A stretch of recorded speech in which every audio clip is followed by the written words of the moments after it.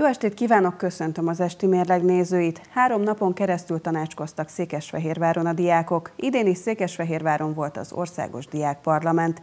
A fiatalok idén egy 45 plusz 1 pontból álló javaslatcsomagot fogalmaztak meg a kormányzat felé. Erről lesz szó a mai műsorunkban. Az ország minden pontjáról érkeztek küldöttek a megyeszékhelyre. A megnyitó rendezvényen részt vett Marusa Zoltán is. A köznevelésért felelős államtitkár szerint a magyar diákság jelenti az ország jövőjét, ezért fontos, hogy beleszóljanak az oktatás ügybe. Két évente ülésezik az Országos Diákparlament. Ez az a szervezet, amely delegált tanulókból áll. Az ősszel választották meg őket a megyei diákparlamenteken. Mintegy 220 fiatal gyülekezik itt mögöttünk, és olyan ajánlásokat fognak megfogalmazni az oktatási kormányzat számára, amelyeknek a megvalósításán aztán a következő két esztendőben a két diák parlament között ülésező országos diáktanácssal dolgozunk majd. 2017-ben, amikor az utolsó ilyen rendezvényre sor került az Országos Diákparlamentre, akkor 50 ajánlást kapott az oktatási kormányzat, 19 alkalommal üléseztünk ezt követően, és oldottuk meg egyébként az itt felmerült ügyeknek a többségét konkrétumokat ki tudnánk emelni, hogy melyek voltak ezek a, a, a fejlesztések, vagy hát ezek az intézkedések? Néhány konkrétumot, például az egyik ilyen volt az előrehozott érettséginek a kérdésköre, mivel ugye 2020-tól a felsőoktatási felvételinél elvárás egy emelt szintű érettségvizsgának a, teljesítése, ezért az egyik kérésük az volt már 2017-ben, hogy bővülhessen az előrehozott tárgyaknak a köre. Például ezt a kormányrendeleti módosítást tavaly évben végrehajtottuk, de ilyen volt mondjuk a gyermekétkeztetéssel kapcsolatosan, a, a, a étkezés minőségének a véleményezését, hogy jogszabályban garantálhassuk a diák önkormányzatok számára. Tehát egészen magas szintű jogszabálymódosításokat is igénylő feladatoktól, néha egészen technikai kérdésekig számos ügy szerepelt a napirenden. Tehát mondhatjuk azt, hogy akkor a kormányzat és a diákság együttműködése a szoros. Így van, és ugye kiemelném, hogy ez egy választott testület, hiszen több esetben vannak olyan tömörülések, formációk, akik ugye különböző igényekkel, követelésekkel állnak elő. Nekünk ez egy nagyon fontos dolog, hogy ezzel az egy szervezettel, ahol mindenkinek van módja egyébként bekerülni, hiszen a iskolákban működő diák önkormányzatok épül fel, és így választják meg ide a delegáltakat. Nagyon komoly fiatalokkal találkozunk egyébként. Én kifejezetten jó tapasztalatokkal rendelkezem a velük való tárgyalásokról, együttműködésről. Nagyon sokat csiszolódtunk, jó magam is, és azt láttam, öröm volt azt látni, hogy az elmúlt időszakban is a résztvevők folyamatosan fejlődtek, nőttek fel a, a feladathoz a hónapról hónapra, és nagyon sok jó tárgyalás van a hátunk mögött. Az 50 követelésből 30 már megvalósult, 11 megfogalmazott kérés pedig még folyamatban van. Az első és legfontosabb, hogy ebben a három évben létrejött egy országos közösség, aki mer felszólalni az oktatás ügyeiért, és képes tárgyalni az oktatásért felelős emberi erőforrások minisztériumával, és többek között elértük azt, hogy ingyenes számunkra az első nyelvvizsga, szerepünk volt abban, hogy a kormány megváltoztatta a döntését, és nem kötelező a középfokú nyelvvizsga a felsőoktatási felvételihez. Létrejött egy olyan összefoglaló könyv a diák önkormányzatokról, ami óriási segítség a diákoknak, ez a diák önkormányzati kisokos, a KRESZ képzés támogatása is egy olyan döntés, aminek köze volt az Országos Diáktanács három éves munkájához, de ami a legfontosabb, hogy tényleg egy közösség, egy összetartó közösség van, ami az ország különböző pontjain fontosnak tartja a diák érdekképviselet, és, és tesz is érte. Az országos diákparlament előkészületét megelőzte egy olyan munka, amelyben az országos diák tanács tagja is részt vettek, és javasoltunk több olyan témát, ami minket, diákokat kifejezetten érint. Itt témája volt a megyei diákparlamenteknek a fenntarthatóság, kiemelt szerepet fordítottunk a digitális eszközök meglétének az iskolában, mert úgy gondoljuk, hogy ezek is nagyon fontos témák, úgyhogy ezek is biztos nagy szerepet fognak kapni a mostani országos diákparlamenten. Egyébként milyen ma Magyarországon diáknak lenni? Hát pörgős, mindig történik valami, és ez nem csak a, az iskolai feladatok, tehát mindig van egy, egy kötelező oldala a dolgoknak, házi feladatok, rengeteg tanulás, ami miatt sokszor úgy gondolják a diákok, hogy leterheltek, de én nekem mindig jutott másra is időm, és szerintem sok diáktársam így van ezzel. A város polgármestere örömét fejezte ki, hogy Székesfehérvár immár harmadik alkalommal ad otthont az országos rendezvénynek, és válik ezáltal a fiatalok fővárosává. Cserpalkovics András szerint az országos rendezvény jó lehetőség arra, hogy első kézből értesülhessen a város a diákok véleményéről. Tizedik országos diákparlamentet rendezhetjük most is, abból az utolsó három a Székesfehérváron került, illetve kerül megrendezésre. Ez egy nagyon nagy megtiszteltetés. Mindig nagyon büszkék vagyunk arra, hogy ez egy diákváros, és ehhez nagyon jól hozzátartozik, hogy három évente, és ugye most már a jogszabályi változások miatt majd két évente itt Székesfehérváron köszönhetjük az ország fiataljait, azokat a képviselő hölgyeket és urakat, akik a diákparlamenten a, a magyar diákságot és ifjúságot képviselik, és ebben a néhány napban a fiatalokat, diákokat érintő kérdéseket, problémákat vetnek föl, tesznek javaslatokat ezek megoldására, fogalmazzák meg kritikáikat, vagy éppen támogató véleményüket. Plenáris ülésen, szekcióülésen itt van lehetőség arra, hogy az ország különböző pontjairól érkező fiatalok ezekben a kérdésekben megvitathassák a saját álláspontjukat, képviseljék a diáktársadalmat, és megfogalmazhassák az ajánlásait. Az is jó ebben az alkalommal, hogy most számmal lehet venni éppen ma délután majd, hogy a három évvel ezelőtt elfogadott 50 pontos ajánlások milyen arányban hogyan teljesültek. Egyébként egy kis műsorfizet ebből készült is, ami bemutatja tételesen mindegyik eh, pontot, eh, és ezért kíváncsiak vagyunk nyilván a visszacsatolásokra, meg arra is, hogy milyen régi, vagy éppen nagyon is új témák fognak eh, feljönni, miközben persze azért ez egy fiatalos rendezvény, tehát én azt kívánom a fiataloknak, hogy legyen eredményes, és egyúttal legyen nagyon jó hangulatú a diákparlament Székesfehérváron, és bízom benne, hogy két év múlva újra vissza is térnek hozzánk. Fehérvárnak mit ad ez a rendezvény? Hát azt hiszem, hogy önmagában egy lehetőséget arra, hogy itt mi első kézből ismerhessük meg a mai fiatalokat, a mai fiatalok véleményét. Itt helyben elég aktív diák élet zajlik, nagyon sok diákkal maga az önkormányzat is szinte napi szintű kapcsolatban van, vagy személyesen, vagy mondjuk a közösségi médián, különösen az Instagram felületeken keresztül. De azért ilyenkor nagyon érdekes, hogy egy kicsit még nyitottabbá tesszük ezt azzal, hogy az ország különböző pontjairól érkező fiatalok véleményét is megismerhetjük, és mindig nyomon lehet követni, hogy ez mondjuk három év alatt hogy változott, milyen kérdések voltak mondjuk hat évvel ezelőtt fontosak, ahhoz képest milyen kérdések lesznek most így 2020 elején fontosak a fiatalok számára, és ebből nyilván a kormányzat levont következtetéseket, akár a jogalkotás kérdésében az egész országra, de mi is meg tudunk ilyen tapasztalatokat fogalmazni a helyi szint, a helyi együttműködés tekintetében, hogy ne a fiatalok fölött hozzunk fiatalokat érintő kérdéseket, hanem a fiatalok bevonásával velük közösen tudjuk a lehető legjobb módszertanokat kialakítani. A polgármester arról is beszélt, hogy az önkormányzat miként vonja be a diákokat a város életébe. Valójában szinte az összes diákokat megszólító rendezvény velük közösen került kialakításra, egészen odáig, hogy mondjuk az ezekre hívott vendégelőadók, zenekarok is a fiatalok megkérdezésével, sőt a fiatalok javaslata alapján kerül mindig meghívásra.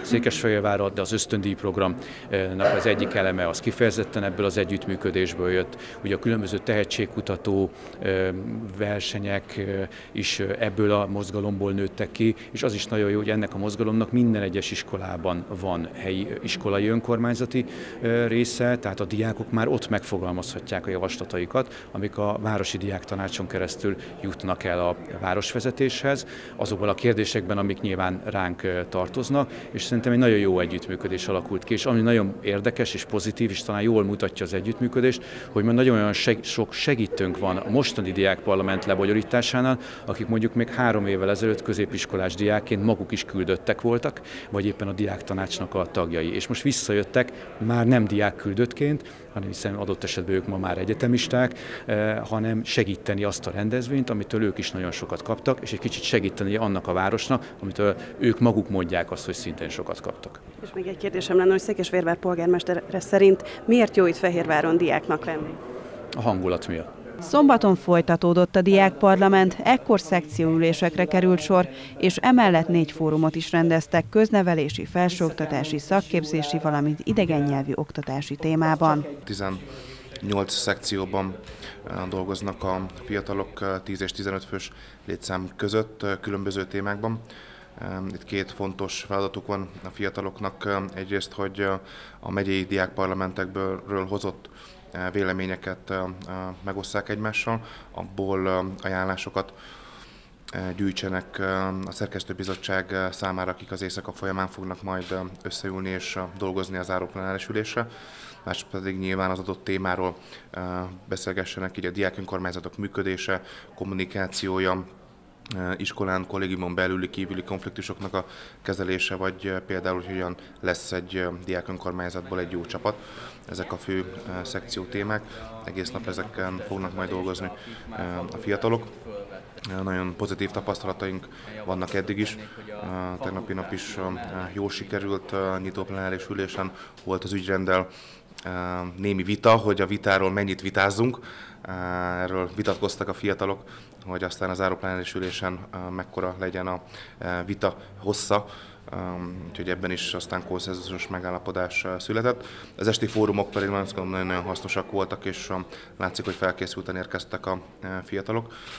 Az idegen nyelvi, illetve a felsőoktatási nagyjából 10 óra körül fejeződött be a szakképzési fórum fél 11 körül, és hát szokásos módon a köznevelési fórum volt az, amelyik a legtovább tartott. 11 óra után hangzott el az utolsó kérdés, illetve válasz ezen a fórumon. Nyilván a, a legforróbb téma az éppen azokban a percekben a magyar közlönyben megjelenő nemzeti, új nemzeti alaptanterv volt. Itt nagyon-nagyon fontos változások lépnek életbe majd felmenő rendszerben a következő tanévtől, úgyhogy ez is egy fontos kérdés volt, de nyilván itt az intézmények állapota, az óraterhelés, a mindennapos testnevelés, és hát azt gondolom, hogy ismertek azok a témák, amelyek a fiatalok számára leginkább érdeklődésre számot tartanak. Én nagyon örülök, hogy um, az oktatás vezetésének legmagasabb szintjén volt, képviselték minden uh, fórumon, így uh, első kézből kaphattak a fiatalok információt. Több mint 40 témát vitattak meg a fiatalok péntektől vasárnapig. Ez csak az iskolák garantált gyakorlati helyekre, vagy az összes gyakorlati helyre irányulna? A diákok például hatékonyabb nyelvoktatást és iskolák tárgyi feltételeinek fejlesztését sürgették, valamint az iskolai dolgozók bérfejlesztését. Ezek mellett felmerült a szakképzés korszerűsítése és az alsó tagozatos osztályok létszámának 24 főben való maximalizálása. Vasárnap végül 45 pontból álló javaslatcsomagot fogadott el az Országos Diákparlament. Volt, aki a mindennapi életben használható tudást tartja a legfontosabbnak. Már úgy érzem, hogy nem elég az, hogy tudjuk a történelmet, a matematikát, ennél már sokkal-sokkal szélesebb körben szeretnénk használható, mindennapi életbe beépíthető tudást. Ez látszik a most megfogalmazott, megfogalmazott 45, illetve a három éve megfogalmazott 50 pontban is. Rengeteg olyan kérés van, hogy gyakorlatilasabb legyen az oktatás, terjedjen ki például az állampolgári ismeretekre, a szociális ismeretekre, a politológiai ismeretekre, hogy kell feladni egy csekket, stb. stb. Tehát mindennapi kérdések, etika, amik, amik ennyire foglalkoztatják a fiatalokat. Tehát a gender kérdés, a szexualitás, igazából minden, ami, ami egy kicsit több annál, mint ami a tankönyvben van. A diákok szerint az is fontos, hogy továbbra is érdemben véleményezhessék iskolák ügyeit. A 45 ajánlás közül erőteljesen megjelent a diák önkormányzatiságnak a szerepe.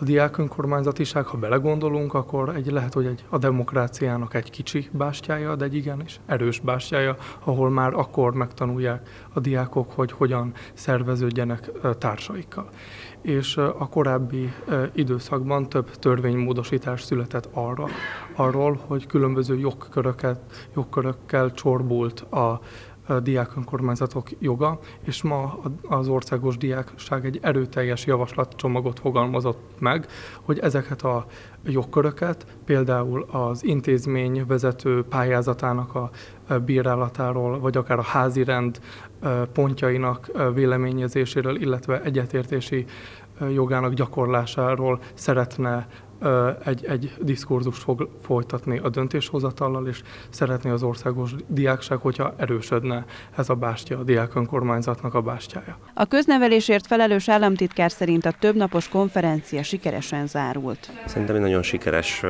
konferenciát tudunk magunk mögött. Ugye az Országos Diákparlament 2017-et követően most ült össze, és egyrészt egy beszámolóval kezdtünk az elmúlt három év közös munkájáról. Ugye akkoriban 50 pontot fogadott el az Országos Diákparlament, amiből egyébként a többségét az oktatási kormányzat a kéréseknek teljesítette, ezt mindkét oldal elismerte. Majd ezt követően 45 ajánlást fogalmaztak meg számunkra a következő időszakra. Nagyon sok ügyben zajlott közös gondolkodás, és azt gondolom, hogy ezek az ajánlások a következő két év szakmai együttműködésének egy jó alapját képezik majd. Nagyon sok szintű javaslatokról beszélhetünk, tehát számos úgy van, ami intézményi szinten, van, ami fenntartói szinten fogalmaz meg kéréseket, van olyan, ami mondjuk a tanulmányi rendszer fejlesztésére vonatkozik, a kollégiumi szobák felszerelésének a javítására, van olyan, ami jogszabályváltoztatást igényel, például kérnek egy olyan nyilvántartást, amiben a diák önkormányzati vezetőknek a regisztrációját meg tudjuk tenni, ugye ez jelenleg csak intézményi szinten áll rendelkezésre, nem gyűjti adatot a minisztérium. Tehát azt gondolom, hogy egy nagyon szertágazó ajánlat csomag, javaslatcsomag készült el, ezt mi is részleteiben értékelni fogjuk, de azt gondolom, hogy ennek a nagy többsége ismét jól teljesíthető lesz. Az Országos Diákparlament zárónapján a város polgármestere is értékelte a fiatalok munkáját. Bízom benne a jó, és bízom abban is, hogy a innen hazatérő fiatalok szép, jó élményként élték meg az országos diákparlamentet, és jól érezték itt magukat, és fontosnak, értékesnek is tartották azt a munkát, amit elvégezhettek. Én úgy érzem, hogy ez a 45 plusz 1 pont, hiszen 45 pontot fogadtak el, egyet pedig közfelkiáltás, ami szerint két év múlva is Székesfehérváron kerüljön megrendezésre az országos diákparlament. Jól tükrözi a fiatalok által felvetett problémákat, kérdéseket, jelzett és megfogalmazott javaslatokat, javaslatokat. Jók voltak a plenáris ülések is, és jók voltak a szekcióülések egyaránt. Szerintem egy nagyon-nagyon jó lehetőség az, hogy a fiatalok képviselői, ez a több mint 200 küldött az ország minden részéből, és mindenféle korosztályból együtt tudott gondolkodni, együtt tudott dolgozni a köznevelés rendszerének vezetőivel, hiszen ők itt voltak, és péntek óta a fiatalok rendelkezésére álltak, és talán ez is visszaköszönt abba, hogy kifejezetten szakmai javaslatok is megfogalmazódtak jutottak ebben a 45 plusz egy pontban. Én nagyon színvonalasnak tartom magát a vitát is, abszolút a másik személyiségét, személyét, évrendszerét tiszteletben tartó vita volt. Szerintem nyugodtan mondhatjuk, hogy a fiatalok példát mutattak a felnőtteknek, hogy ezt valahogy így is lehet csinálni, és ezáltal nem csak a vita, hanem annak a végeredménye is abszolút érdemi lett. Emellett nyilván ez egy fiatalos rendezvény, fontos, hogy jól is érezzék magukat. Én bízom benne, hogy szép élményekkel, emlékekkel mennek most haza, és abban is még egyszer, hogy visszatérnek hozzánk. A diákok tanácskozását városismereti verseny, könnyű zenei programok és táncház is színesítette. Az Országos Diákparlament következő ülése két év múlva ismét Székesfehérváron lesz. Kedves nézőink, ez volt már az esti mérleg. Én köszönöm megtisztelő figyelmüket, viszontlátásra!